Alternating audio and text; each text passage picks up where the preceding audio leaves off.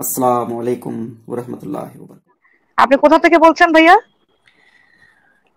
আমি আল্লাহ পাকের আরশের পাশের একটা গলি আছে ওই গলিতে তিন নাম্বার বাসা থেকে বলছি। আল্লাহ পাকের আরশের আল্লাহ পাকের আরশ তো অনেক উপরে। সেখানে থেকে আপনি কীভাবে বলছেন? তার পাশের ওইখানে ইন্টারনেটের সুবিধাটা অনেক ভালো। এখানে ওয়াইফাই সেভেন ওয়াইফাই সিক্স যেখানে আপনারা পৃথিবীতে চালাচ্ছেন আমার এখানে ওয়াইফাই সেভেন চালাচ্ছি আমি। এই কারণে এখানে ইন্টারনেট ভালো পাওয়া যায়। এই কারণে আমি আগে সাইবার ক্যাফেতে যাইতাম আল্লাহ পাকে ওইখানেই আসতেন। একই সাইবার ক্যাফেতেই আমরা ছোটবেলা থেকে হচ্ছে ইন্টারনেট চালাতাম। তো এখন প্রযুক্তির উন্নতির কারণে আমি ঘরে বসেই এটা চালাতে পারছি। মাশাআল্লাহ আলহামদুলিল্লাহ। না ঘরে বসে কি চালাতে পারছেন? স্যাটেলাইট? ইন্টারনেটটা ওয়াইফাই সেভেন। ও ইন্টারনেট তো ঘরে বসে সবাই চালায়। এটা তো নতুন কিছু না। না আপনারা ওয়াইফাই সিক্স পর্যন্ত চালাতে পারেন। আপনি খোঁজ নিয়ে দেখেন না আমি খোঁজ নিয়ে না না আমি খোঁজ নিয়ে দেখতে চাচ্ছি না কারণ আমার ওসবের প্রতি খুব একটা ইন্টারেস্ট না নাই। কিন্তু আমি মনে করি যে ইসলাম ধর্ম এমন একটা সত্য এবং সঠিক ধর্ম সেটার বিরুদ্ধে যদি কেউ কথা বলে তখন আমি বিরক্ত বোধ করি। সেই জন্যই আমি আপনাকে নক করলাম। আচ্ছা খুবই ভালো লাগল যে আপনার ইসলামের প্রতি একটা মায়া আছে মাশাল্লাহ এরকমই থাকা উচিত। আল্লাহ পাকও এটাই বলছেন দিলেন নবী মুস্তফা উনিও এটাই বলছেন যে ধর্মের প্রতি আপনাদের মায়া থাকা উচিত এবং ধর্মের কারণে মারা এবং মরা উচিত। এই জন্যই কোরআনে পাকে আল্লাহ তাআলা ইরশাদ করেছেন যে তোমাদের মধ্যে যেই ব্যক্তি আল্লাহর রাস্তায় মারে এবং মরে তাদেরকে কি তোমরা সমান মনে করো যারা ঘরে থেকে খেদমত করে? বুঝছেন? না যারা যারা শহীদ হ্যাঁ যারা শহীদ হয় তাদের জন্য একদম ওপেন জান্নাত। আর যারা ঘরে বসে আমরা যে ঘরে বসে যদি নামাজ কালাম করি তাহলে সেটার মূল্য থেকে ওইটার মূল্যটা বেশি। সেটা কোন সময় যখন যখন ইসলাম ধর্মের বিরুদ্ধে যদি কেউ যায় তখন তার সাথে ফাইট করার কথা আছে। এইটাই। তাছাড়া ইসলাম ধর্মে ওই ফাইট করা বা আপনার ঝগড়া, বিবাদ ফেসাদ এগুলি ইসলাম ধর্মে ইসলাম ধর্মে নাই। এবং ইসলাম ধর্মে এগুলি কেউ পছন্দ মানে মানে আল্লাহ তালা এগুলি পছন্দ করেন না আর কি। যখন ফেরাউন মারা গেছিল যখন ফেরাউনের ওরকম ফেরাউন কিন্তু বাড়তে বাড়তে শেষ সীমানায় চলে গেছিল। কথা বুঝছেন না? যখন মানুষ একদম শেষ সীমানে মানে তার নিজের লিমিটেশন অতিক্রম করে ফেলে, তখন কিন্তু আল্লাহ তালা সরাসরি হস্তক্ষেপ করে এবং আল্লাহ তালা সেই জনপদ বা সেই সমস্ত আপনার কি বলব সেই মানুষটাকে আল্লাহ তালা মানে আপনার একদম সম্পূর্ণভাবে ভেনিশ করে দিতে আল্লাহ তালার এক সেকেন্ড, এক সেকেন্ডও লাগে না। তা সেই জন্যই আমাদের সীমা লঙ্ঘন করা উচিত না বলে আমি মনে করি। তা আপনাদের কথাবার্তা গুলো আমার কাছে যেন একটুখানি মনে হচ্ছে যে আপনারা কি কি, আপনাদের উদ্দেশ্যটা আমি বুঝতে পারছি না ঠিক করে। আমাকে একটু বলতে পারবেন? আচ্ছা আচ্ছা আচ্ছা অবশ্যই মাশাল্লাহ কিন্তু কথা হচ্ছে আমাদের এটা এটা বারবার আপনি ভুল করছেন, এখানে আমাদের নাই, এখানে আমি একটা মানুষ এখানে আছি হ্যাঁ? তো এখন আমি আপনাদের আপনার ইসলামের প্রতি যে খেদমত দেখলাম মাসাল্লাহ খুবই চমৎকার যে আপনি ইসলামের জন্য আপনি যুক্ত হয়েছেন আপনি বিরক্ত হয়েছেন ইসলামের বিরুদ্ধে আমি না না আমি আমি আমি এখন যদি বলতে হয় তাহলে বলতে হবে যে আমি আমার পরিচয়টা এখনও দিইনি দেবো না কিন্তু আমি খুবই খুবই হাইলি এডুকেটেড একজন পার্সন ঠিক আছে ভাইয়া? এখন কথা হচ্ছে হ্যাঁ কথা হচ্ছে কি আপনার যদি কিছু জানতে ইচ্ছে করে তাহলে আপনি ওই জাকির নায়ক আছে তার সাথে তো আপনি বসতে পারেন। এই সমস্ত ফালতু লোক মানে ফালতু বলব না সরি এই সমস্ত লোকজন যাদের ইসলাম ধর্ম সম্পর্কে বা পুরো ওয়ার্ল্ডের রাজনীতি সম্পর্কে অথবা মনে করেন যে ব্যক্তিটা জানে না তার সাথে আমার তর্ক বিতর্কে লিপ্ত হয়ে সময় নষ্ট করার কোনো দরকার করে আমার মনে হয় যে দরকার করে না সময়টা শুধু নষ্ট হওয়া। সেই জন্য হ্যাঁ সেই জন্য আমার কথাটা শুনুন। জি বলেন। আপনি একজন এডুকেটেড মানুষ মাশাল্লাহ খুবই ভালো লাগছে শুনে। আপনি তো আমার কথাটা নিশ্চয়ই ধৈর্য ধরে মানে শোনার মতো মানসিকতা আছে তাই না?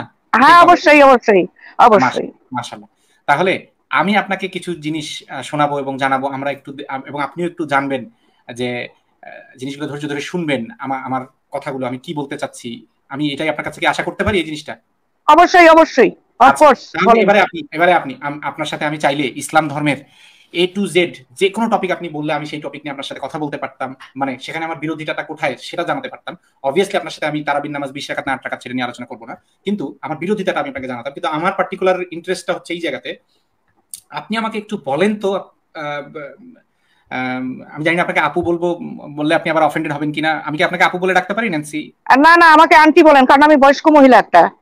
আচ্ছা ঠিক আছে। আমি আপনাকে মিস ন্যান্সি বলে রাখি। জি। আচ্ছা ঠিক আছে। কারণ আমি সহজে কাউকে আঙ্কেল আন্টি বলে ডাকি না আসলে। ও আচ্ছা আচ্ছা আপনার কীরকম বয়স ভাইয়া? আমি তো বুঝতে পারছি না। আমি কয়েকদিন শুনেছি আপনার গলার আওয়াজটা শুনে আমি আসছি আর কি। আল্লাহ পাকের চাইতে আরেকটু কম। আল্লাহ পাকের চাইতে একটু কম। আল্লাহ আল্লাহ পাকের চাইতে মানে? এটা কোনো কথার ভিতরে পড়ল যে আল্লাহ পাকের চাইতে? জি আচ্ছা আপনি আমাদের আলোচনাটাতে আমরা ফিরে আসি হ্যাঁ? সেটা হচ্ছে যে আমি আপনার কাছে পার্টিকুলারলি যেটা নিয়ে ইন্টারেস্ট সেটা হচ্ছে আপনি যেই ধর্মটার পক্ষে যেই ধর্মটার পক্ষে একজনের সাথে আলোচনা করতে এসেছেন বা বলা চলে আপনি জবাব দিতে এসেছেন এক ধরনের। সেই ধর্মটাতে আপনাকে নিয়ে কি বলা আছে? মানে একজন আপনি তো একজন নারী এই একজন নারীকে নিয়ে একজন নারীকে কোন দৃষ্টিতে দেখা হয়েছে ওই ধর্মটাতে? আপনি কি নারীকে খুব হ্যাঁ নারীকে খুব উচ্চ মর্যাদা দেওয়া হয়েছে এবং নারীকে সম্মান করার কথা বলা আছে। তাই? কীরকম সম্মান বা কীরকম ই দেওয়া আছে? নারীকে আপনি প্রত্যেকটা স্টেপে নারীকে সাপোর্ট দিবেন যদি সীমা লঙ্ঘন না করে যায়। যদি সীমা লঙ্ঘন না করে যায়, সীমার ভিতরে যদি থাকে, তাহলে আপনাকে সাপোর্ট দিতে হবে এজ এ হাজবেন্ড হিসাবে এজ এ পুরুষ মানুষ হিসাবে। আপনাকে নারীকে মূল্যায়ন করতে হবে সাপোর্ট দিতে হবে, ভালোবাসতে হবে, ভালো কথা বলতে হবে, যাতে সে এনকারেজ হয় ভালো কাজ করবার জন্য। ঠিক আছে? মাশাআল্লাহ। এই জিনিসগুলো কি আপনি কোরআন বা হাদিসে পড়েছেন নাকি কোথাও শুনেছেন? আমি কোরআন হাদিস পর্যালোচনা পর্যালোচনা করছি আমার মনে হয় সম্ভবত বোধ আজকে চল্লিশ পঞ্চাশ বছর ধরে। সুতরাং সব সম্পূর্ণ সব যে আপনি ফট করে আমাকে একটা প্রশ্ন জিজ্ঞেস করলে আমি হয়তো জবাব দিতে পারব না। এই অর্থে যে আমার এখন টাটকা পড়া আপনারা যেরকম টাটকা পড়ে সাথে সাথে টাটকা টাটকা সেটা জবাব দিয়ে দেন। আমার অনেক দিন আগের থেকে পড়া এবং প্রচুর বই আমার বই সমস্ত আমার মনে হয় একসাথে জড়ো করলে বোধ আমি কি বলব যে বোধ হাজার হাজার কোটি কোটি বই হবে। সেগুলি সব পড়ে টড়ে আমি এগুলি মানে রাখি না এগুলি বিভিন্ন জায়গায় চলে যায়। আমি বিভিন্ন আমি নিজেই ব্যক্তিগতভাবে আমি নিজেই ব্যক্তিগতভাবে বিভিন্ন জায়গায় থাকি কাজে কাজে ওখানে কিছু এখানে কিছু সেখানে কিছু এরকম থাকে। কাজে কাজেই প্রত্যেকটা জিনিস আমরা পড়ে তার একটা সারমর্ম করি তাই তো ভাইয়া? আমরা প্রত্যেকটা জিনিস পড়ে আমরা কি করি? আমরা একটা সামারি করি সারমর্ম করি ঠিক আছে না? হ্যাঁ? তো আমি সারমর্ম করে যেটা পেলাম সেটাতে দেখতে পেলাম যে ইসলাম ধর্ম আমার কাছে আমি যেটা আমি তার উপরে দাঁড়িয়ে আছি এবং আমার সবচেয়ে বড় স্তম্ভ হচ্ছে ইসলাম ধর্ম এবং সেটা আমি মনে করি যে ইসলাম ধর্ম হচ্ছে সবচাইতে সঠিক ধর্ম। এটার যদি কোনো রকম কোনো অবমাননা করা হয় সে সেটা পাবে আল্লাহর তরফ থেকে। হয়তো দুদিন পরে না হলে এক্ষুনি। বুঝতে পেরেছেন? এটা একদম নিঘাত সত্য কথা। আচ্ছা ঠিক আছে। ঠিক আছে? আমি আপনাকে আজকে আমি আবারও আমি আপনাকে যে প্রসঙ্গে মানে কথা বলতে চাচ্ছেন সেই প্রসঙ্গটাতে আবারও ফিরে আসছি। সেটা হচ্ছে কি আমি আপনাকে নারীদেরকে কোন দৃষ্টিতে দেখা হয়েছে ইসলামে সেটা একটা একটা করে আপনাকে তুলে ধরবো এবং আপনার মতামতটা জানতে চাইব। বলেন হ্যাঁ বলেন। তার আগে আজকে লাইভে আপনি যুক্ত হওয়ার আগে আমি একটা খবর দেখিয়েছি কালকের বোধহয় পত্রিকার খবরটা। আপনাকে স্ক্রিনে দেখাচ্ছি কালকের খবর এটা প্রথম আলোতে আসছে। খবরটা হচ্ছে দুই মাস ধরে এক দম্পতি সমাচ্যুত এবং কেন সমাজচ্যুত কারণ তারা স্বামী স্বামীটা স্ত্রীকে তালাক দিয়ে দিয়েছে এখন সেই স্ত্রীটাকে সে ফেরত চাইছে। কিন্তু ইসলাম অনুযায়ী নিয়ম হচ্ছে যে সেই স্ত্রীটাকে অবশ্যই অন্য কারও সাথে বিবাহ বন্ধনে আবদ্ধ হতে হবে। হিল্লা বিয়ে। এখন এটাকে হিল্লা বিয়ে বলেন যে বিয়েই বা অন্তর্বর্তীকালীন বিয়েই বলেন না কেন তাকে মানে অবশ্যই অন্য আরেকজনের মানে অন্য আরেকজনের সাথে বিবাহ বন্ধনে আবদ্ধ হতে হবে এবং সেখানে অবশ্যই তাকে সহবাস করতে হবে সেই স্বামীর সাথে স্ত্রীর। হ্যাঁ তিন মাস তিন মাস থাকতে হবে। তিন তিন মাস মিনিমাম এবং শোনেন তারপরে কি হয় যদি ওই স্বামী শর্ত দিয়ে না কিন্তু যদি মানে নিঃশর্তভাবে যদি ওই স্বামী নিজে থেকেই ওই স্ত্রীকে তালাক দেয় এরপরেই কেবলমাত্র ওই স্ত্রীটা আগের স্বামীর কাছে ফেরত আসতে পারবে। যদি ওই স্বামীটা তালাক না দেয় বা যদি চুক্তি করে তালাক নেন যে আচ্ছা ঠিক আছে তুই আমার বউরে তিন মাসের জন্য বিয়ে কর তাহলে হবে না। ওই স্বামীটাকে ইচ্ছে করে তালাক দিতে হবে। মানে স্ব ইচ্ছায় তালাক দিতে হবে। যদি তালাক দেয় তখনই কেবল আগের স্বামীর কাছে স্ত্রীটা ফিরে আসতে পারবে। এই আইনটার কথা কি আপনি এর আগে শুনেছিলেন? এটাকে হিল্লা বিয়েও বলতে পারেন বা পরবর্তীকালীন বিয়েও বলতে পারেন? না না শুনেন। আমার কাছে এখানে একটা বক্তব্য আছে।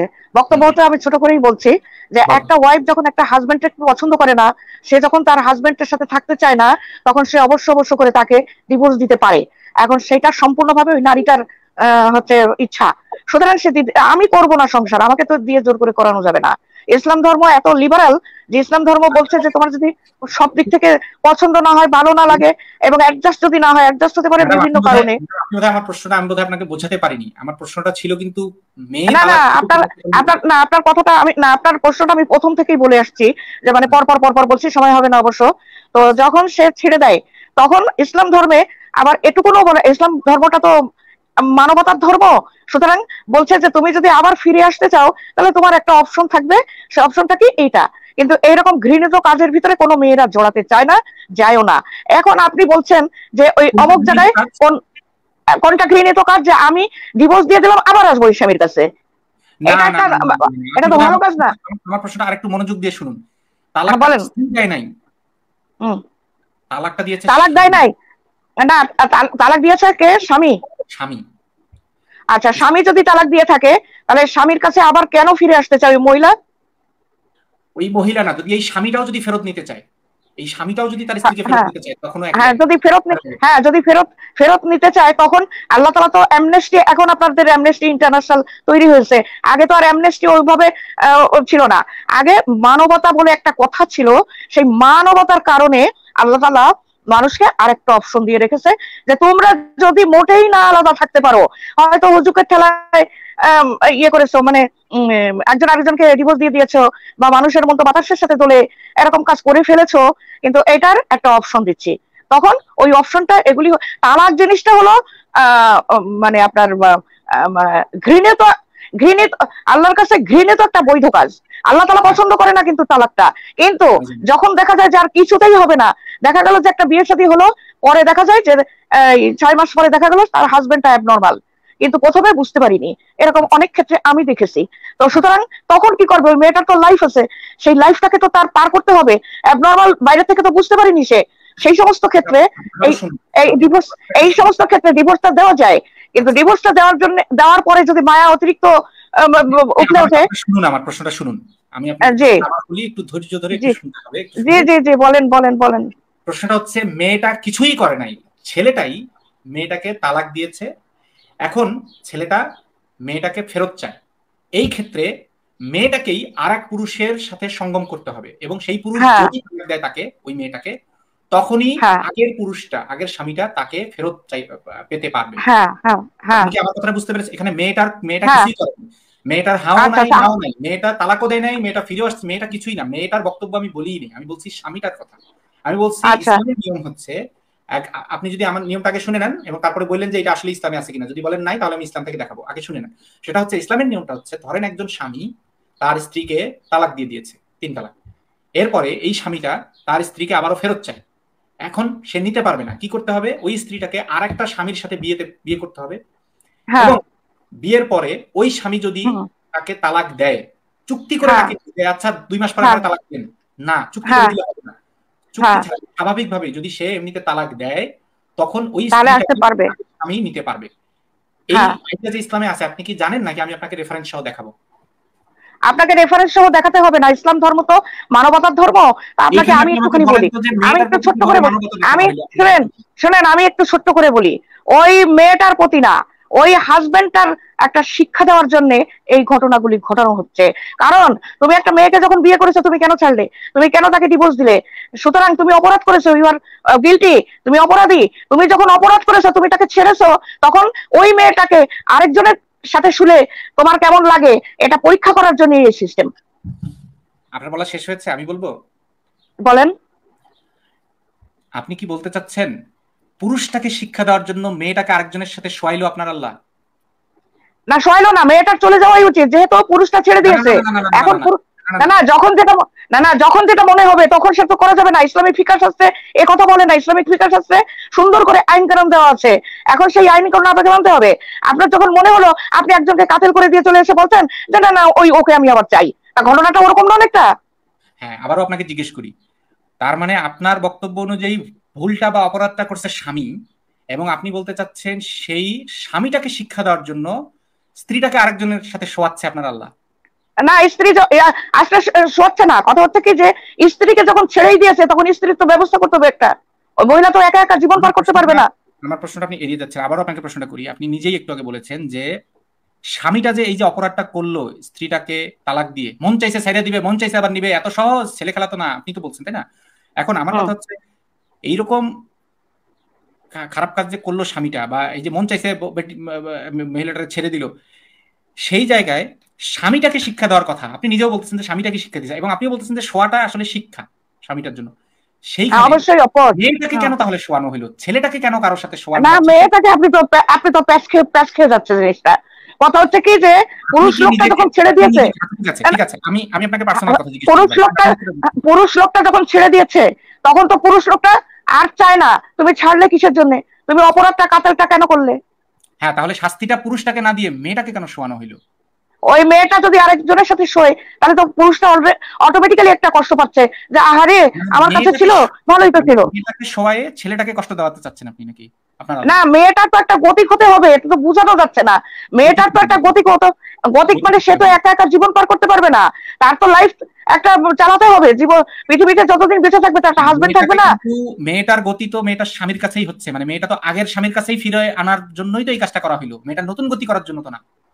না না মেয়েটার নতুন গতির আপনি প্রশ্নটা না না নতুন নতুন গতির কথা না একটা মানুষ একটা মানুষকে যদি কাতেল করে তার কিছু শিক্ষা হওয়ার দরকার। সেই শিক্ষাটা হচ্ছে এরকম ভাবে হবে। তাহলে শিক্ষাটা আপনার আপনি বলতে চাচ্ছেন আপনার আল্লাহ সেই পুরুষটাকে শিক্ষা না আল্লাহ সবাইয়ের আল্লাহ শুধু আমার না আল্লাহ সবাইয়ের সমস্ত পুরো জাহান এই যে আসমান এবং জমিন এই যে দুটো কোন ধর্মে আমাকে একটু দেখান তো যে কোন ধর্মে কোন ভগবান বলছে যে আসমান আমি সৃষ্টি করেছি? আমার আল্লাহ একদম স্ট্রিক্টলি বলে দিচ্ছে যে আমি স্তম্ভ বিহীন এত বড় একটা ছাদ তৈরি করে দিয়েছি আকাশ। এটা কোন ধর্মে বলছে? আমাকে একটু রেফারেন্স দেখান। আপনার আল্লাহ আপনার হইতে পারে সারা পৃথিবীতে পঞ্চাশ লাখের বেশি মৃত করোনা রোগীদের না। আমার যেসব বন্ধু বা আত্মীয়র স্বজনের পরিবারের সদস্যরা মারা গেছে করোনায় অন্তত কয়েকশো তাদের না অন্তত। তাদের যদি হইতো আল্লাহ যদি তাদের হইতো আল্লাহ তাদেরকে মরতে দিত না। সেই না এটা তো আপনার ভুল ধারণা। শুনেন, কথা হচ্ছে কি? শোনেন কথা হচ্ছে কি? না আমার কাছে না। আমরা আমার কাছে না। আসমান এবং জমিন আল্লাহ তালা স্পষ্ট ঘোষণা দিচ্ছে। আমি তোমাদের আসমান, জমিন সবকিছু সৃষ্টি করে তোমাদেরকে তৈরি করে, তোমাদেরকে আমি পৃথিবীতে দিয়েছি শুধুমাত্র পরীক্ষা করার জন্য। শুধুমাত্র পরীক্ষা করার জন্য তোমরা খারাপ কথা বলো, খারাপ সাইডটা ধরো, না তোমরা ভালো সাইডটা ধরো, ভালো কথা বলো।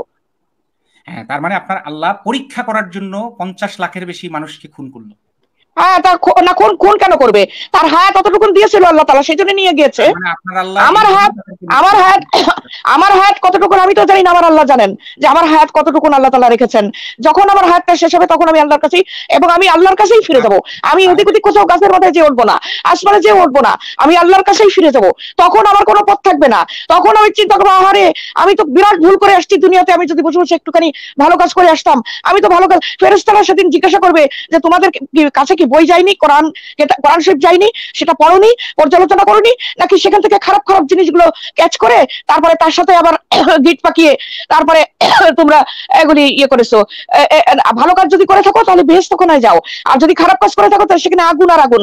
আগুন ভয় পায় না কে? বাবা আমি খুব ভয় পাই আগুন। সুতরাং আমি যে সঠিক রাস্তা সেই রাস্তায় আমি যেটা মনে করি আমি সেই রাস্তায় চলার চেষ্টা করি সবসময় আর কি। হয়তো আমাদের হয় না। হয়তো আমাদের হয় না। চান তাই তো? সমস্যা নেই। অবশ্যই অবশ্যই প্রত্যেকটা মানুষ অবশ্যই প্রত্যেকটা মানুষ মনে মনে সে ভালো জিনিসটাই চিন্তা করে ভালো কথাই বুঝতে পারে কিন্তু পারিপার্শ্বিক অবস্থার কারণে সে হয়তো ভালো জিনিসটা অ্যাপ্লাই করতে পারে না নিজের জীবনে অথবা কোন রকম কিন্তু অ্যাপ্লাই হয়তো করতে পারে না। হয়তো কোনো আজকাল তো দেখা যাচ্ছে পুরো পৃথিবীতে মানসিক রোগীর সমস্যা বেড়ে গেছে। এটা আপনি জানেন খেয়াল করেছেন? মানসিক রোগীর সমস্যা মেন্টাল ডিজিজ পুরো পৃথিবীতে বেড়ে এত অত্যধিক বেড়ে গেছে যে এটা জরিপ আমি দেখলে আপনি লাইভেই হয়ে যাবেন। এখন আমি মনে করছি এখন আমি মনে করছি এখন আমি মনে করছি যে মানসিক রোগীর সংখ্যা কেমতের পূর্বে অতিরিক্ত বেড়ে যাবে এটা হাদিসের কথা তো সুতরাং এখন- আমি প্রমাণ আমার চোখের সামনে দেখতে পাচ্ছি আপনি একটু শুনুন হ্যাঁ। সেটা হচ্ছে হ্যাঁ যে- বলেন বলেন সেটা হচ্ছে যে আপনি যেই ভেস্তে যেতে চাচ্ছেন সেই ভেস্তে কি আছে সেটাও আমি আপনাকে একটু পরে দেখাবো আপনার জন্য কি অপেক্ষা করছে সেটাও দেখাবো আগে আপনি একটু আমাকে। আগের প্রশ্নের উত্তরটা একটু দেন যে আপনার আল্লাহ পুরুষটাকে শাস্তি দেওয়ার জন্য মেয়েটাকে আরেকজনের সাথে শোয়াইলো তাই তো? আচ্ছা আমি একটা জিনিস বুঝতে পারছি না আমি যদি আমার তো হাজবেন্ড আছে আমি যদি আজকে আমার হাজবেন্ডের কোনো কারণে আমি যদি ছেড়ে দিই তার একটা গতি থাকতে হবে আমি আরেকটা বিয়ে করতে হবে না না না না ম্যাডাম ম্যাডাম উত্তরটা উদাহরণটা মিললো না উদাহরণটা আমি একটু মিলাই দিচ্ছি আপনাকে আপনি শোনেন না মিললে আমাকে বলবেন। উদাহরণটা হতে হবে এরকম আপনার যে একজন স্বামী আছে উনি যদি আজকে আপনাকে তালাক দেয় ওনার ইচ্ছায় ওনার তালাক দিতে কোনো কারণ লাগবে না ইসলাম অনুযায়ী তালাক দিতে ওনার কোনো কারণ দেখাইতে হবে না। আপনাকে যদি তিন তালাক দেয় এরপরে তিন তালাকের পরে ওনার হঠাৎ মনে পড়ল, আপনি ইদ্যুৎ টিদ্যুৎ পালন করলেন ব্যাস সুন্দর মতন, ছাড়াছাড়ি হয়ে গেছে। এখন ওনার মনে হইল, আহারে, আমি তো ভুল করছি। এইটা তো আমি একটা ফালতু কাজ করছি। আমি মিস ন্যান্সিকে আবারও আমার জীবনে ফিরে পেতে চাই। তাকেই আমি ভালোবাসি। আমি তার সাথেই বাকি জীবনটা কাটাতে চাই। এখন আপনিও চাচ্ছেন আচ্ছা ঠিক আছে, আমি তোমাকে ক্ষমা করে দিয়েছি, আমিও যেতে চাচ্ছি। দুইজনই রাজি আপনারা। এখন আপনার স্বামী যেহেতু ওই ভুলটা করছিল বা অপরাধটা করছিল, আপনাকে মন চাইছে তালাক দিছে, এইটার জন্য শাস্তি হিসেবে কে শাস্তিটা ভোগ করবে কার মাধ্যমে কে শাস্তি ভোগ করবে আপনাকে মিস মিস ন্যান্সি ম্যাডাম আপনাকে আরেকজন স্বামীর সাথে সহবাস করতে হবে এবং বিয়ে করে তার সাথে সংসার করতে হবে। এরপরে হ্যাঁ, শুনে নেন শুনে নেন শুনে নেন শুনে নেন আমার বলাটা শেষ নেই চুক্তি করে করা যাবে না কিন্তু যে একজন মিস্টার ফটকা নামের একজনকে আপনি ধরেন চুক্তি করলেন যে মিস্টার ফটকা আপনি আমাকে আপনার সাথে আমার তিন মাসের সংসার হবে এরপরে আর তিন মাস আমি ইদ্যুৎ পালন করে আপনি আমাকে তালাক দিয়ে দিবেন তারপরে আমি আমার আগের স্বামীর কাছে ফেরত এরকম করা যাবে না এরকম করলে আপনার নবী হাদিসে বলছে যে তাকে খাসি বলছে পাঠা বলছে। ওই যে যে চুক্তি করবে। চুক্তি করে না। নর্মালি আপনি আরেকজন মানুষকে বিয়ে করতে হবে। সেই মানুষটা যদি নর্মালি আপনাকে তালাক দেয় এই যে এই আগের বিয়েতে ফেরত আসতে চাচ্ছেন আগের স্বামীর কাছে ফেরত আসতে চাচ্ছেন এই উদ্দেশ্যে যদি তালাক দেয় তাহলে হবে না। অন্য যে কোনো উদ্দেশ্যে তালাক দিক। এই উদ্দেশ্যে তালাক দিলে হবে না। যদি অন্য যে কোনো ভাবে যদি তালাক দেয় আপনাকে তখনই কেবল আপনি আগের স্ত্রী আগের এই স্বামীর কাছে ফেরত আসতে পারবেন। এইবার আপনি আমাকে বলেন তো এবার আপনি আমাকে বলেন তো শাস্তিটা কি আপনি পাইলেন না আপনার স্বামী পাইলো? আমার স্বামী অবশ্যই পেয়েছে কেন? সে মুখ দিয়ে সে অন্যায় কাজ করবে কেন? সে কেন মুখ দিয়ে বলে তিনবার সে জানে না যে তিনবার তিনবার তিনবার বললে মানুষের রাগ, দুঃখ সবকিছুই আছে। মানুষের রাগ হতে পারে তার রাগ হলে এমন করে একটা কাতেল করে ফেলব একদম। রাগ হলে একটা কাতেল করে ফেলব, এটা যে করবে তার শাস্তি পেতে হবে। তাহলে আপনি এইটাই বিশ্বাস করেন যে আপনাকে আরেকজনের সাথে যে শুইতে হইল, ইসলামের যে নিয়মটা অনুসারী, সেই নিয়মটা আসলে আপনাকে সম্মান জানাইছে এবং আপনার স্বামীকে আসলে শাস্তি দিছে তাই তো আপু ম্যাডাম তাই তো স্বামী স্বামী কেন ছাড়লো? স্বামী ছাড়লো কেন? ঠিক ঠিক। তুমি ভুল করে কাতেল করবা তুমি ভুগবা না? তুমি অপরাধের সাজা পাবা না? এটা তো হয় না। মানে আপনি আরেকজনের সাথে শুবেন এইটাতে সাজা পাবে আপনার স্বামী? অবশ্যই কারণ তার একটা হাজবেন্ড কোনোদিনও চায় না যে তার ওয়াইফ আরেকজনের সাথে সুখ এটা কোনো নিরয় একটা হাজবেন্ড চাবে না। কিন্তু কথা হচ্ছে কি যে যখন যখন আমি আমি চাবো না। আমি চাবো না কিন্তু আপনি কি পছন্দ করেন আপনার স্বামীর কাছে ফিরে আস আপনাকে জিজ্ঞেস করছি আপনি কীভাবে নেবেন ব্যাপারটা যে আপনার স্বামীর কাছে ফিরে আসতে আরেকজনের কাছে আপনাকে শুইতে হচ্ছে এবং আরেকজনের মুখাপেক্ষি হইতে হচ্ছে? মানে অপেক্ষায় থাকতে হচ্ছে যদি তালাক দেয় তাইলে ফিরে আসতে পারবেন না দিলে কিন্তু আপনার কেমন লাগবে আমাকে একটু বলবেন তো? হ্যাঁ আমার কোনো কিছু খারাপ লাগবে না। আমার এই জন্য খারাপ লাগবে না যে তুমি এত বড় অপরাধ কেন করলে? একজন অপরাধীর জন্য আমার কোনো খারাপ লাগবে না। মানে আপনি আরেকজনের সাথে শুইতেছেন আরেকজনের সাথে সংসার করতেছেন। হ্যাঁ হ্যাঁ সবকিছু ঠিক আছে কিন্তু একজন অপরাধীর জন্য আমার কোনো খারাপ লাগবে না। আমি চাই যে অপরাধীর সাজা হোক। আমি অবশ্যই চাবো যে যেই অপরাধ করুক না কেন তুমি সীমা লঙ্ঘন করো না সীমার ভিতরে থেকে অপরাধ করো কোনো সমস্যা নেই। কিন্তু সীমা লঙ্ঘন করে যদি তুমি কাতল করে ফেলো তোমাকে অপরাধের শাস্তি পেতে হবে। You see, guys, this is what Islam does to people. You see? আপনি কোথা থেকে বলছেন ভাইয়া একটু বলেন তো আমাকে। আমি কিন্তু কিচ্ছু জানি না আমি জাস্ট খালি আপনার এটা একটু দেখলাম সেটা নিয়ে করলাম। না আপনি না আপনি আমার সাথে দুষ্টামি ভাইয়া শুনেন আপনি আমার সাথে দুষ্টামি করছেন আপনি একটু বলেন তো যে কোন দেশ থেকে বলছেন? ন্যান্সি ম্যাডাম আমি আপনার বেআইনও না বা আপনি আপনার সম্পর্কে এমন কেউ না যে আপনার সাথে দুষ্টামি করতে পারি। কিন্তু আপনি আমাকে যে কথা কেন বলছেন? আপনি তো শুনেন আমার কথাটা শোনেন ভাইয়া, কিচ্ছু মাইন্ড করবেন না। আমি যে মানসিক রোগী দেখি আজকাল, এই যে এত মানসিক রোগী, আপনার কথাটা কিন্তু মানসিক রোগীর মতন লাগছে আমার কাছে। প্লিজ ডোন্ট মাইন্ড কিন্তু আপনি যে এই কথাটা বললেন, এই কথাটা তো গর্হিত একটা অন্যায় কথা। আল্লাহ রসের পাশ থেকে আপনি কথা বলছেন। এটা কি কোনো কথার ভিতরে পড়ল? একটা কথা বলেন যে ভদ্রাতীত ভাবে আমরা কথা বলি। তাহলে দেখুন তো, আপনার আল্লাহর পাশে আমি বসে আছি। আপনার আল্লাহ কিন্তু একটুও মানে অফেন্ডেড হচ্ছে না। আপনার আল্লাহর কিন্তু গায়ে লাগছে না। আপনার আল্লাহ কিন্তু কষ্ট পাচ্ছে না। আপনার আল্লাহ কিন্তু বিরক্ত হচ্ছে না। আপনার আল্লাহ কিন্তু রাগ হচ্ছে না। আপনার আল্লাহ কিন্তু ঠিকই আমার সাথে বসে বিয়ে খাচ্ছে। তো আপনি ওই যে আপনাকে ওই যে আপনাকে আমি একটুখানি আগে বললাম প্লিজ ভাই মাইন্ড করেন না আমার কথায়। আজকাল মানসিক মেন্টাল ডিজিজ এত বেড়ে গেছে যে মেন্টাল ডিজিজ যে তারা যে সমস্ত কথা বলে আপনার এই যে বর্তমানে যে কথাটা যে লাইনটা উচ্চারণ করলেন আমার কাছে ওই রকম লাগছে। এখন ভুলও হতে পারি আমি। ভুল হলে ভুল হলে হ্যাঁ ভুল হলে ভুল হলে আমাকে মাফ করে দিন ভুল ভুল হলে আমাকে ভুল হলে আমাকে মাফ করে দিন শুনেন ভুল হলে আপনি আমাকে মাফ শুনেন। আমার কথা একটু শুনেন আপনার কথা আমি শুনলাম। আপনি আমাকে মানসিক রোগী বললেন আমি শুনলাম এবং আমি আপনার কাছে এখন আমার আমার মত মানসিক রোগী বলিনি। মানসিক রোগী বলিনি। আমি বললাম যে ওদের যে সমস্ত কথাবার্তা শুনি আমি আমার কাছে ওরকম কথাবার্তা মতন মনে হচ্ছে। অ্যাবনর্মাল অ্যাবনর্মাল অ্যাবনর্মাল কথা কেন বল না না আপনি আমার সাথে অ্যাবনর্মাল কথা কেন না না আপনি আমার সাথে অ্যাবনর্মাল কথা কেন বলবেন? আপনি একটা সঠিক সুন্দরভাবে বলেন। আমি একজন মহিলা আমাকে একটু সম্মান করে কথা বলেন যে হ্যাঁ আপনি লন্ডন থেকে অথবা আপনি আমেরিকা থেকে অথবা আপনি জার্মান থেকে কথা বলছেন। সুন্দর করে বলেন আমি একটু খুশি হই। হ্যান্সি ম্যাডাম আপনি শুনেন। আপনাকে খুশি করা আমার পক্ষে সম্ভব না কেন জানেন? কারণ আপনি আপনার স্বামীকে শাস্তি দেওয়ার জন্য আরেকজনের সাথে আপনাকে শুইতে হচ্ছে। অফকোর্স অফকোর্স আমি কোনো অন্যায় আমি কোনো না না আমি কোনো অন্যায় বরদাস্ত করি না।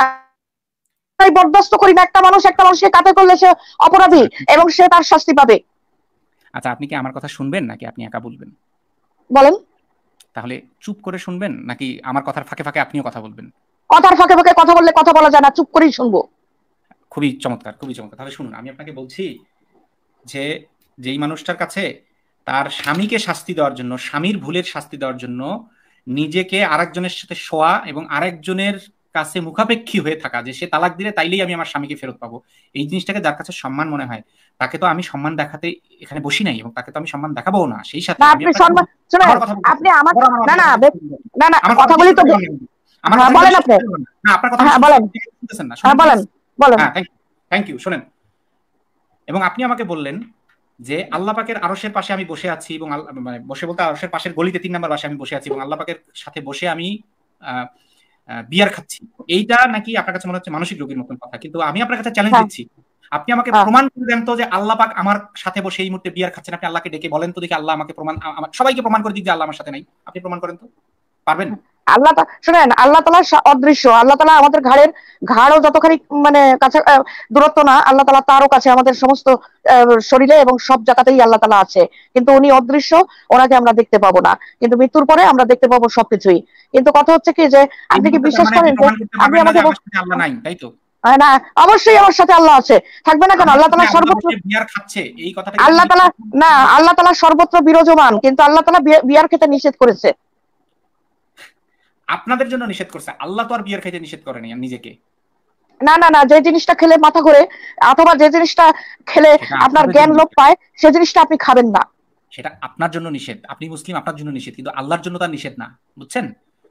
আল্লাহর জন্য নিষেধ মানে আল্লাহ কি খায় নাকি? কি ধরনের কথা আপনি বলছেন? আমার সাথে যে বসে বিয়ার খাচ্ছে না এটা আপনি প্রমাণ করেন নাউজুবিল্লাহ নাউজুবিল্লাহ। হ্যাঁ? আপনি প্রমাণ করেন তো কীভাবে প্রমাণ করবেন যে আল্লাহ এই মুহূর্তে আমার সাথে বসে বিয়ার খাচ্ছে না? কীভাবে প্রমাণ করবেন? আচ্ছা তাহলে আচ্ছা আচ্ছা আপনি আমাকে বলছেন যে এটা আপনি প্রমাণ করে দেখান তাই তো? আমি আপনাকে একটা কথা প্রশ্ন জিজ্ঞাসা করি যে যখন পেটে খিদে লাগে তখন কি আমরা দেখি যে হ্যাঁ হ্যাঁ লাল রঙের একটা খিদে। খিদে জিনিসটা হচ্ছে লাল রং। আমরা কি দেখি? আমরা এটা প্রমাণ করেন যে কীভাবে আমরা দেখব? আমি দেখতে চাই খিদেটা।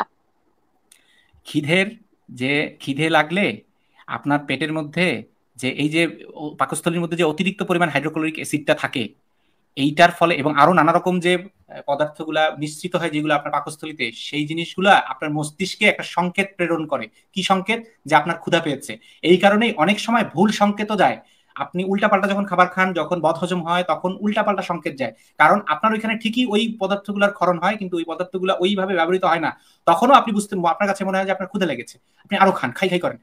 এইভাবেই প্রমাণ করা যায় যে আপনার ক্ষুতা লেগেছে। এবার আগের প্রশ্নে ফিরে আসি। আপনি আমাকে কি প্রমাণ করতে পারবেন? নাকি পারবেন না যে আমার কাছে আল্লাহ এই মুহূর্তে বসে বিয়ার খাচ্ছে? আপনি যদি আমাকে প্রমাণ করে দেখাতে পারেন যে খিদের রংটা কি আমি তখন আপনাকে প্রমাণ করে দেখাবো। আপনি যদি না দেখাতে পারেন তাহলে আমি কেন দেখাবো? আমি কিন্তু দাবিই করিনি যে খিদের কোনো রং থাকে। তাহলে আমি দাবি করেছি আমি দাবি করেছি আপনি যেরকম বলছেন যে এখানে বসে আল্লাহ তালা এ- এই জিনিস খাচ্ছে নাউজুবিল্লাহ নাউজুবিল্লাহ তদ্রূপ আমি আপনাকে প্রশ্ন করলাম যে খিদের রংটা একটু দেখা দেখব আমি। চমৎকার তাহলে চমৎকার কাজ করেছেন। এইবার আমি আপনার কাছে প্রশ্ন করব আল্লাহ বলতেই যে কিছু আছে এটা প্রমাণ করে দেখেন। এটা প্রমাণ করে দেখাবো? তাহলে আল্লাহ তা হ্যাঁ আল্লাহ তালা বলছে কেন? যে এই পৃথিবী আমি সৃষ্টি করেছি, এই যে গ্রহ, নক্ষত্র, সমস্ত কিছু আমি সৃষ্টি করেছি এবং এগুলি সমস্ত আপনার নিয়মতান্ত্রিক ওয়েতে চলে। আজকের দিনে না বৈজ্ঞানিকরা পরীক্ষা করে করে বের করছে যে এই সূর্য, চন্দ্র যে আপনার ওটাকে কি বলে? বার্ষিক গতি আর আনহিক গতি আজকের দিনে আমরা বের করেছি। কিন্তু চোদ্দশো বছর আগে কীভাবে রসুল্লাহ কথা বলে গেলেন? এটা আপনি বলেন। এই একই রকম কথা বাইবেলেও বলছে। আপনার ওই যে ত্রিপিটকেও বলছে তারপরে গীতাতেও বলছে তারপরে আচ্ছা ভালো কথা। শুনে আচ্ছা, ভালো কথা। শুনে হ্যাঁ আপনি বলেন তো আপনাদের কাটটা ঠিক? সবাই সব হ্যাঁ? আল্লাহ সব ভগবানই এই কথাই বলছে যে আমি সব বানাইছি। বলেন এবার কাটটা ঠিক। হ্যাঁ আচ্ছা ভালো কথা। তা এখন এই যে কোরআন কোরআন শরীফটার যে চোদ্দশো বছর আগে যে আপনার বাইবেল আপনার অন্যান্য ধর্ম এগুলি তো কিছু কিছু চেঞ্জ হয়েছে আপনি বিশ্বাস করেন সবাই বিশ্বাস করে। কিছু কিছু চেঞ্জ হয়েছে।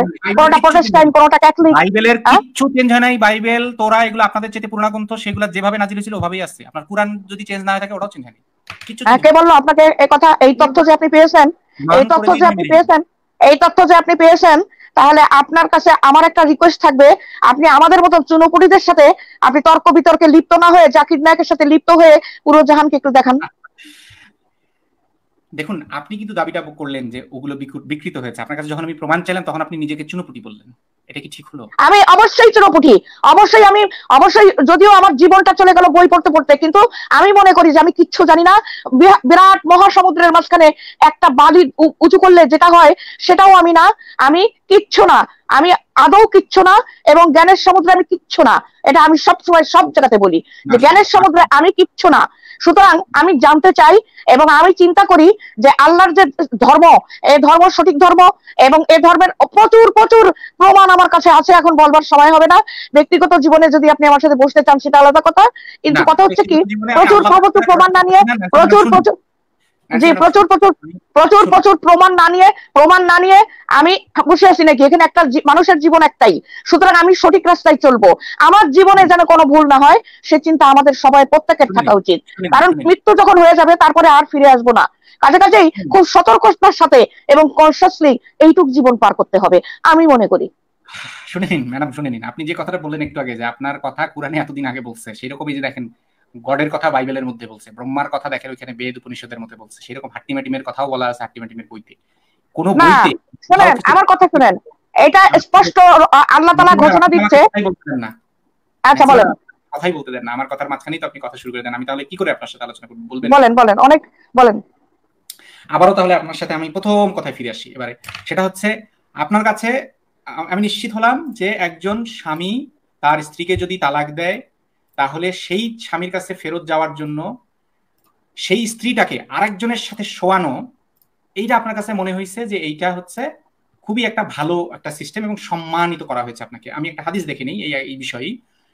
এটা হচ্ছে সুনানে আত তিরমিজির হাদিস নাম্বার হচ্ছে এগারোশো আঠারো। এটা সুনানে ইবনে বাজাতেও আছে এবং আরও অন্যান্য হাদিস গ্রন্থেও আছে। হ্যাঁ বুঝতে পারছি আপনি। অনেক হাদিস কালাম পড়েন এবং সেগুলোর রেফারেন্স সহ কথা বলেন। আচ্ছা ভালো কথা খুব খুশির এটা খুব খুশির খবর। কিন্তু বক্তব্যটা হচ্ছে আমাকে কি একটু কথা বলতে দেবেন? হ্যাঁ বলেন বলেন আচ্ছা বলেন। সুন্দর। কোন লোক তার স্ত্রীকে তিন তালাক দেওয়ার পর সে দ্বিতীয় স্বামী গ্রহণ করলে এবং সহবাসের পূর্বে সেও তাকে তালাক দিলে। কি নিয়ম? হ্যাঁ? বর্ণনা করতেছে। আরেকবার বলেন। স্ক্রিনে দেখতে পাচ্ছেন? না স্ক্রিনে দেখব টেকবো না ভাই আমি শুয়ে শুয়ে কথা বলছি। তো সুতরাং আপনি আপনি শোনেন জি, বলেন। রাসূলুল্লাহ সাল্লাল্লাহু নিকটে রিফা আল কুরাইর স্ত্রী এসে বলল আমি রিফার স্ত্রী ছিলাম। সে আমাকে বাত্তালাক অর্থাৎ বাত্তা তালাক মানে তিন তালাক দেয়। তারপর আমি বিয়ে করি আব্দুর রহমান ইবনে জুবাইরকে কিন্তু তার সাথে কাপড়ের পাড়ের মতো আর কি ব্যতীত আর কিছু নেই। তিনি প্রশ্ন করলেন তুমি কি রিফার নিকটে আবার ফিরে যেতে চাও? কিন্তু তা হবে না। তুমি যতক্ষণ না তার মধু আস্বাদন করবে এবং সে তোমার মধু আস্বাদন করবে তারপরে তালাক দিবে। মানে দ্বিতীয় স্বামীর সাথে সঙ্গম না করা পর্যন্ত এবং সেইটা না তালাক না দেওয়া পর্যন্ত কখনোই আগের স্বামীর কাছে ফিরে যাওয়া যাবে না। এইটা আপনার কাছে সম্মান। তাহলে ন্যান্সি ম্যাডাম আপনি আমাকে বলেন তো ইসলাম নারীকে অসম্মান করছে এইটা প্রমাণ করা। আমি কেন? মাতুব্বর আজাদ অভিজিতের বাপ মানে স্বয়ং আল্লাপাক যদি নিজে এসে দাবি করে আপনার কাছে সম্ভব? আল্লাপাকও তো আপনাকে বুঝাইতে পারবে না যে মেয়েদেরকে অসম্মান করা হয়েছে এখানে। কারণ আপনার কাছে তো এটাই সম্মান। আমার কাছে এটাই সম্মান তাহলে এখন বলি। এই আপনি কীভাবে ভাবলেন যে এই এই যে যে স্বামী তালাক দিল এই স্বামী থেকে দ্বিতীয় স্বামী বেশি আদর করবে না? আপনি কি কনফার্ম একদম দাঁত ভাঙা জবাব দিচ্ছেন আমার দাঁত ভেঙে গেছে একদম। চমৎকার যুক্তি দিচ্ছেন একদম। আমরা তাহলে এক কাজ করি আরেকটা টপিকে আপনাকে জিজ্ঞেস করি। আপনার নারীকে ইসলাম ধর্ম অনুযায়ী কি কি বলছে সেটার একটা তালিকা আপনাকে দেখাচ্ছি। বা আপনি যেহেতু দেখবেন না শুনবেন শুধু তাহলে শোনাচ্ছি। আচ্ছা ভাইয়া শোনেন আপনাকে বলি আপনি তো মুসলমান আপনি নামাজ পড়েন পাচক তো আমি মুসলমান ছিলাম কিন্তু এখন আর নাই কারণ আল্লাহ পাক আমাকে বলছে যে এইসব ভুয়া তুই নামাজ কালাম পড়িস না। ও কোন জায়গায় বলছে? কোন হাদিসে বলছে? এই যেরকম সুনানে তিরমিজি কথা আমাকে বললেন। হাদিসে কথা বলেন আল্লাহ পাক আমার সাথে সরাসরি কথা বলে বলছে। নবী মোহাম্মদ আমি একটা কথা একটু আগে বললাম আপনি তো মাইন্ড করে ফেললেন। কিন্তু আমার কাছে একটু অন্যরকম লাগছে আপনার কথা। যুক্তিতে আমাকে যদি আপনার মনে হয় যে মানসিক রোগীর মতো কথা বলছি তার মানে আপনার ওই যুক্তিতে কিন্তু নবী মোহাম্মদকেও আপনি আলটিমেটলি মানসিক রোগী বানিয়ে দিলেন। কেন বলেন তো? কারণ নবী মোহাম্মদ নিজেও বলছে দাবি করছে যে আল্লাহ পাক তার সাথে কথা বলছে। আপনি কিন্তু প্রমাণ চান নাই তার কাছে। আরে বাবা নবী মোহাম্মদ তিনি হলেন মহামানব। তিনার সাথে কি আমাদের সাথে হয় নাকি? আমিও মহামানব। সাথে কি আমাদের সাথে হয় নাকি? তিনি হলেন তিনি হলেন মহামানব। এবং তিনি আরও শিখেছিলেন আল্লাহর সাথে তার অন্যরকম একটা ব্যাপার। আর নবী রসুলগণের সাথে কি আমাদের আমরা চুনোপুটি কোথাকার কোন পাপি পাপি বান্দা? আমাদের সাথে ওনাদের সাথে হয়। কি ধরনের কথাবার্তা আপনি বলছেন? আপনার সাথে তার মিল না থাকতে পারে। আপনার সাথে তার তুলনা না হতে পারে। সেটা আপনার ব্যাপার। আপনি চুনোপুটি হতে পারেন। আমি তো নিজেকে চুনোপুটি মনে করি না। আমি মনে করি। আপনি আপনি আপনি মনে করেন হ্যাঁ, আপনি আপনি যা মনে করেন আমি মনে হ্যাঁ আমি মনে করি সেটা হবে কি হবে না সেটা একমাত্র আল্লাহ পাক জানেন। আমার তো এত কিছু দরকার নেই। আমাকে আল্লাহ পাক আমাকে আল্লাহ পাক সৃষ্টি করে আল্লাহ পাক আল্লাহ পাক স্পষ্ট আল্লাহ পাক স্পষ্ট ঘোষণা দিয়েছে যে আমি তোমাদেরকে সৃষ্টি করে আমি তোমাদেরকে পরীক্ষা করার জন্য পাঠিয়েছি। সুতরাং আমার ওই সুতরাং আমার ওই হ্যাঁ সুতরাং আমার ওই কথাটাই ওই কথাটাই বলতে হবে হ্যাঁ? কার মাধ্যমে ঘোষণাটা দিয়েছে? কোরআন শরীফের মাধ্যমে কোরআন কোরআন শরীফ আমরা পড়ি? তুলে দিয়েছে? কোরআন শরীফ কে আপনার হাতে তুলে দিয়েছে? কার কাছে নাজিল হয়েছে কোরআন শরীফটা? কে দাবি কোরআন শরীফ হ্যাঁ কোরআন শরীফ কোরআন শরীফ বছর আগে ঠিক যেভাবে হ্যাঁ, আমার কথা শোনেন রসুল্লাহ ঠিক যেভাবে কোরআন শরীফ পৃথিবীর বুকে দিয়ে গেছে এই ঠিক সেইভাবে সেই বইটাই ইংল্যান্ডের একটা লাইব্রেরিতে পাওয়া গিয়েছে কিছুদিন আগে। সুতরাং তারা, আমি ইউটিউবে দেখলাম যে ওরা বলছে যে চোদ্দশো বছর আগে যেভাবে লেখা লিখেছিল, একেবারে ঠিক সেইভাবেই লেখা চোদ্দশো বছর আগের। একটা হরফ, একটা একটা লাইন উনিশ বিশ হয়নি। তা আল্লাহ তালাই বলছে যে, এই কোরআনের হেফাজত আমিই করব। সুতরাং তার ভিতরে যা যা লেখা আছে, সেগুলি আমরা মানুষ হিসাবে আমাদের মানতে হবে। এটা আমি মনে করি। ঠিক আছে, আপনি এইগুলা আপনাকে কে কে জানাইছে? কোরআন, হাদিস এগুলা কে পৌঁছাই দিছে আপনার কাছে? কার মাধ্যমে জানছেন? কে দাবি করছে আমি হ্যাঁ আমি কোরআন পড়ি কোরআন থেকে আমি জানিছি এবং আমি হাদিস পড়ি। হ্যাঁ? কোরআন হাদিসটা কার কাছে নাজিল হয়েছে নাজিল হয়েছে আমার রসুল্লাহ। তাহলে আমাদের সেই হ্যাঁ কীভাবে নাজিল হয়েছে আল্লাহ তার কাছে পাঠাইছে তাই না? হ্যাঁ তাহলে আপনি জিব্রাইল আলাইহিস সালামের মারফত। জিব্রাইল জিব্রাইল আলাইহিস সালাম জিব্রাইলের হ্যাঁ। মাধ্যমে আচ্ছা। হ্যাঁ। জিব্রাইল আলাইহিস সালাম বলেন। শুনেন জিব্রাইল আলাইহিস সালাম বলেন আর যদি না বলেন তাহলে অসম্মান যদি করেন তাহলে কিন্তু একটা কথা সবসময় ভাববেন কবরে কিন্তু কেউ নাই কেউ কাউকে সাহায্য করবে না। সেখানে কিন্তু আগুন বিচ্ছু আর সাপ দিয়ে ভরা। এটা আপনি মাথায় রেখে কথা বলেন। ইনশাআল্লাহ তাহলে আমি জিব্রাইলই বারবার বলছি শুনুন তাহলে। জিব্রাইলের মাধ্যমে নবী মোহাম্মদের কাছে যে আল্লাহ বাণী পাঠাইছে এইটা আপনি বিশ্বাস করলেন অথচ তাকে আপনি মানসিক রোগী বললেন না। আমি যখন দাবি করলাম যে আমার কাছে আল্লাহ এই যে দেখেন আমার কাছে লেখা আছে এই যে দেখেন স্ক্রিনে ভেসে ন- হ্যাঁ আচ্ছা ঠিক আছে। আমাদের রসুল্লাহর পরে আর কোন নবী রাসূল পৃ- আর কোন নবী রসুলগণ পৃথিবীতে আসবে না। উনি হচ্ছেন খতমে নব- উনি নবীদের হ্যাঁ। হ্যাঁ সেটাই। আপনি যদি শোনেন আপনি যদি আমি এখন বললাম যে ভাই আমার কিন্তু চেহারাটা এরকম আমার নাকটা কিন্তু এরকম আর আমার চোখটা এরকম। দেখেন দেখেন ভাই আমার চোখটা কিন্তু এরকম। আপনি যদি তাকায় দেখেও বলেন যে না এটা মিথ্যে কথা আপা। আপনি খুব কালো আর আপনি খুব কুৎসিত আমি খুব সুন্দরী একজন মহিলা। বুঝতে পেরেছেন? আপনাকে আমি দেখা দিব না কিন্তু আমি খুবই সুন্দরী একটা মহিলা। এখন কথা হচ্ছে কি যে আপনি যদি বলেন যে না আপনি নিগ্রোদের মতন দেখতে তখন কি আমি একটু হাসবো মুখটা বেকা করে? কিন্তু আপনাকে কোনো জবাব দেব না। আপনি বুঝে নেবেন যে কেন হাসলো। তা আপনার কথাগুলো আমার কাছে ওরকম হয়ে যাচ্ছে। আপনি দেখেন আমার কাছে যে দেখেন স্ক্রিনে আমার কাছে যে আয়াতটা নাজিল হয়েছে সেটা আমি এখানে দেখাইছি। আয়াত নাম্বার 69 সেখানে আল্লাহ বলতেছে আপনি এখন আয়াত নাম্বার আয়াত নাম্বার আজকাল হাদির জাল হচ্ছে আপনি জানেন? আজকাল হাতির জাল হচ্ছে অনেক জায়গায়। হাতির জাল পাওয়া যাচ্ছে, আপনাকে বুঝতে হবে যে কোনটা সঠিক হতে পারে আর কোনটা সঠিক বেঠিক হতে পারে। আপনি ভাত মাছ খান না, আমিও খাই, আপনিও খান, দুনিয়ার সবাই খায়। কিন্তু কথা হচ্ছে কি যে আমাদেরকে সঠিক রাস্তাগুলো নিজের থেকে বুঝে নিতে হবে যে কোনটা সঠিক হতে পারে। আমি যদি সব কথাই বলি দাঁড়ালাম এদিক যেতে বলল গেলাম ওদিক যেতে বলল গেলাম। এটা তো ঠিক হবে না আপনার নিজের ব্রেন খাটাতে হবে। ব্রেন খাটিয়ে আপনি চিন্তা করে বের করবেন যে না আসলে তো কোরআনের যত কথা সবই তো মিল আর হাদিসটা কি? হাদিসটা হচ্ছে ওই কোরআনের কথা যদি তুমি না বুঝতে পারো তার রসুল্লাহ এটা একটু বিশ্লেষণ করে বুঝাই বলিছে মানুষকে। এই তো কথা। কিন্তু কোরআনের ভিতরে যা আছে তার প্রত্যেকটা কথা প্রত্যেকটা হরফ কেউ কোনোদিন চেঞ্জ করতে পারেনি আর পারবে না। রোজ কেমন পর্যন্ত এর কোনো চেঞ্জ হবে না এবং এটাই সঠিক। ন্যান্সি ম্যাডাম আপনি আমার কথাটা একটু শুনুন এবারে। আপনার কথা তো আমি শুনলাম অনেকক্ষণ ধরে, তাই না? আপনি একটু শুনুন আমার কথাটা। আমার কাছে আমি যখন এই যে আয়াতটা স্ক্রিনে দেখালাম, আয়াত নাম্বার সিক্সটি নাইন সেখানে আল্লাহ আমাকে বলছে এই সব মানিস না, সব ভুয়া, কোরআন, হাদিস সব ভুয়া। এইখানে নারীদের অসম্মান করা হয়েছে, তুই এগুলি মানিস না। এই যে আয়াতটা যখন আমি আপনার কাছে দেখাইলাম বা দাবি করলাম যে আল্লাহ তালা আমার কাছে এই বাণীটা পাঠিয়েছে, আপনি কিন্তু আমাকে বললেন যে মানসিক রোগীর মতো কথা বলছি। কিন্তু আপনার নবী একই কাজটাই করছে। আপনার নবী এর চাইতে জঘন্য কাজ করছে। সে মেয়েদেরকে নাউজুবিল্লাহ নাউজুবিল্লাহ আমার আমার কান হয়ে যাচ্ছে অপবিত্র আপনার কথা শুনে ভাইয়া মাইন্ড করেন না কিছু? কিন্তু আমার কানটা হয়ে যাচ্ছে অপবিত্র। আমি আমার কান একটু মিউট করে রাখলাম যাতে আপনি শুনতে পারেন আমার কথা মনোযোগ দিয়ে। আপনার কথা যাতে আমি শুনতে না পারি আপনি যাতে আমার কথা শুনতে পারেন। সেটা হচ্ছে আপনি যখন আমি যখন দাবি করলাম যে আল্লাহ তাআলা আমার কাছে এই এই এই কথা পৌঁছাইছে একই সাথে বিয়ার খাওয়ার সময় বসে বলছে এইসব মানিস না সব ভুয়া কোরআন হাদিস সব ভুয়া এইগুলা বিকৃত এইগুলা এইখানে নারীদেরকে অসম্মান করা হয়েছে তুই এগুলি মানিস না। আমি যখন এটা বললাম, তখন আপনি আমাকে বললেন, আমি মানসিক রোগীর মতো কথা বলছি। কিন্তু একই কাজটা আপনার নবী করছে। আপনার নবী একই কাজটাই করছে। আপনার নবী দাবি করছে, তার কাছে জিব্রাইল নামের কেউ একটা আসছে, ডানাওয়ালা, যার নাকি ছয়শোটা তিনশো ডানা আছে। সে এসে, যাকে আর কেউ দেখেনি, সে নিজে দেখছে। সে এসে একের পর একের পর এক এরকম আল্লাহ পক্ষ থেকে বাণী পৌঁছায় দিছে। আপনি কিন্তু নবী মোহাম্মদকে বললেন না যে সে মানসিক রোগী। একবারের জন্য আপনার মনের মধ্যে প্রশ্ন আসলো না যে, এই বেটা যে এই কথাগুলো বলতেছে, সে কি মানসিক রোগী হতে পারে না? সে কি, আমি যেমন মাতুব্বরকে বলছি, মাতুব্বর আজাদ অভিজিৎকে বলছি যে, আপনি মানসিক রোগীর মতন কথা বলছেন মাইন্ড করেন না। একইভাবে কি নবীজিও মানসিক রোগে আক্রান্ত হয়ে হ্যালুসিনেটেড হয়ে, উনি কি হ্যালুসিনেশনের শিকার হয়ে এই কথাগুলো আমাদেরকে বলতে পারেন না? যে উনি কল্পনা করছেন যে, আমার কাছে কেউ একজন আসতেছে, সেইগুলো বলতেছে, সেটা আমাদেরকে আবার বলে শুনাইছে। আপনি, আপনার কাছে কিন্তু একবারও সেটা মনে হয়নি। আপনি কিন্তু তাকে আপনার, আপনি কিন্তু তার কাছে প্রমাণ চান নাই যে নবীজি প্রমাণ দেন তো দেখি আল্লাহ নামের কিছু আপনাকে এগুলা বলতেছে। এই কথাগুলো আপনি নিজে বানায় বলতেছেন না, এটা একটু প্রমাণ দেন তো দেখি। আপনি কিন্তু একবারও সেটা জিজ্ঞেস করেননি কিন্তু আপনি সেটা করবেনও না। আপনি যে আমাকে অন্তত বলছেন না যে মানসিক রোগীর মতো কথা বলতেছি, এটাতেই আমি খুশি। কারণ কি এতে আপনি নিজের অজান্তেই আপনার যে নবী আছে, সেই নবীটাকে আপনি আলটিমেটলি বলে ফেলছেন যে সে মানসিক রোগী। আপনি হয়তো নিজেও বুঝতে পারতেছেন না সেটা।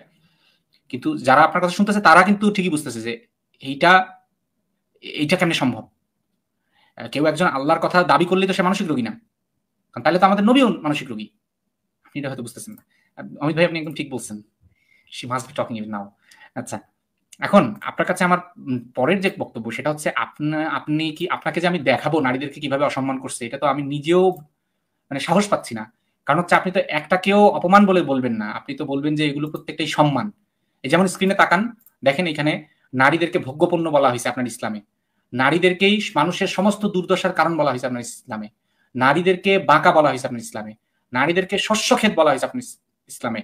নারীদেরকে অশুভ, নারীদেরকে অমঙ্গল বলা হয়েছে আপনার ইসলামে। নারীদেরকে বিপর্যয়কর বলা হয়েছে আপনার ইসলামে। নারীরা শয়তানের বেশে আসে বা শয়তান নারীর বেশে আসে বলা হয়েছে আপনার ইসলামে। এইগুলার একটাও তো আপনার কাছে অপমান মনে হবে না। আপনার কাছে কি এগুলার একটা অপমান মনে হয়? আপনি আমাকে একটু বলেন তো, মিস ন্যান্সি, ম্যাডাম। এগুলি সব, শুনেন, এগুলি সব জাল হাদিস। কথা বুঝতে পেরেছেন? হাদিস যেটা সেটা আপনি পরখ করে কোরআনের সাথে এটারে মিলান। মিলাই তারপর আপনি নিজেই টের পেয়ে যাবেন যে আসল সত্য কোনটা। আচ্ছা এগুলি সব কিন্তু হাদিস না এখানে কিন্তু কোরআনের কথাও আছে তাহলে কোরআনগুলো ওগুলো কি জাল? না কখনো না কোনোদিনও না কখনো তা হবে না। কখনো তা হবে না রোজ কেমন পর্যন্ত তা হবে না।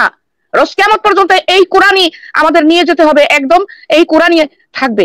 সুতরাং এর সাথে কোনো কিছুর মিল হবে না পরিবর্তন হবে না এটা আমাদের মানতে হবে।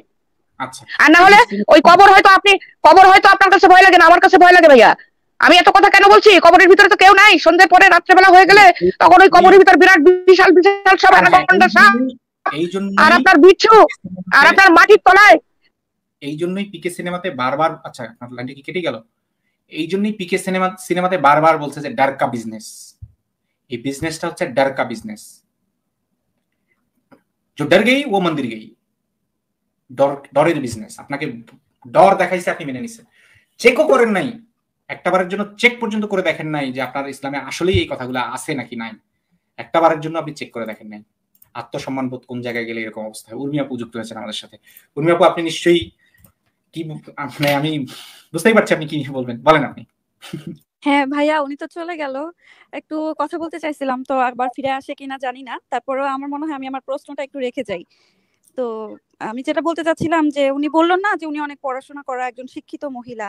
কিন্তু উনি যতই পড়াশোনা করুক, আপনি যদি শুনে থাকেন, ন্যান্সি ম্যাডাম, আপনি যতই পড়াশোনা করে থাকেন, আপনি যতই জ্ঞানী হন না কেন আপনার বাসা থেকে বাইরে গেলেই যে দেখবেন একটা তরকারি একটা একটা তরকারি বিক্রি করতেছে একটা লোক, একটা পুরুষ লোক বা রিক্সা চালাচ্ছে একটা পুরুষ লোক, আপনার আল্লাহর কাছে তারা আপনার চাইতে অধিক জ্ঞানী।